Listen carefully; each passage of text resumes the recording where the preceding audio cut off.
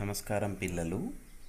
ఈరోజు మనం పుటాకార దర్పణం ముందు వివిధ స్థానాలలో వస్తువును ఉంచితే ప్రతిబింబం ఎక్కడ ఏర్పడునో పరిశీలిద్దాం. ఇక్కడ తెలుపు కలర్లో ఉన్నదేమో వస్తువు పసుపు కలర్లో ఉన్నదేమో ప్రతిబింబం. ప్రతిబింబం పి మరియు ఎఫ్ల మధ్యన ఉంచినప్పుడు మిథ్య ప్రతిబింబం ఏర్పడింది పీకి ఆవల. రెండవ సందర్భం చూడండి. వస్తువుని ఎక్కడ ఉంచినాం? ఎఫ్ వద్ద ఉంచినప్పుడు ప్రతిబింబము అనంత దూరంలో ఏర్పడుతుంది. కాబట్టి ఇది ఎలాంటి ప్రతిబింబము మనం చెప్పలేము మూడవ సందర్భం చూడండి. ఎఫ్కు మరియు సికు మధ్యన వస్తువును ఉంచినప్పుడు ప్రతిబింబం సికి ఆవల తలకిందులుగా పసుపు కలర్లో ఏర్పడింది కదా? అది వస్తువు పరిమాణం కంటే పెద్దగా ఉంది. ఇప్పుడు నాలుగవ సందర్భంలో వస్తువును సి వద్ద ఉంచినప్పుడు ప్రతిబింబం కూడా సి వద్దనే ఏర్పడింది.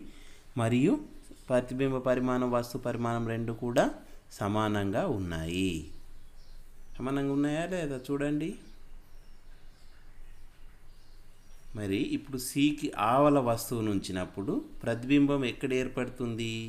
ఎఫ్కు మరియు సికు మధ్యన తలక్రిందుల ప్రతిబింబమే కానీ వస్తువు పరిమాణం కంటే చిన్నదిగా ఏర్పడింది.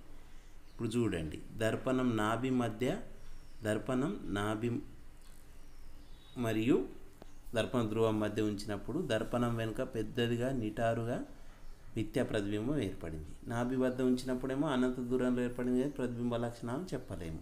నాభి వక్రత కేంద్రం మధ్యన ఉంచినప్పుడు వక్రత కేంద్రం కావాలా? పెద్దదిగా తలకిందులుగా నిజ ప్రతిబింబం ఏర్పడింది. అదేవిధంగా వక్రత కేంద్రం వద్ద ఉంచినప్పుడు వక్రత కేంద్రం వద్దనే సమాన పరిమాణంలో తలకిందులుగా ఏర్పడడం జరిగింది. మరి ఇంటి పని. పీ కామ ఎఫ్ల మధ్య వస్తువును ఉంచితే ప్రతిబింబ లక్షణాలను తెలపండి. ఎఫ్ వద్ద వస్తువును ఉంచితే ప్రతిబింబం ఎక్కడ ఏర్పడును? ఎఫ్ కామ సిల మధ్య వస్తువును ఉంచితే ప్రతిబింబం ఎక్కడ ఏర్పడును? దాని లక్షణాలను తెలపండి. సి వద్ద వస్తువును ఉంచినప్పుడు ప్రతిబింబం ఎక్కడ ఏర్పడును?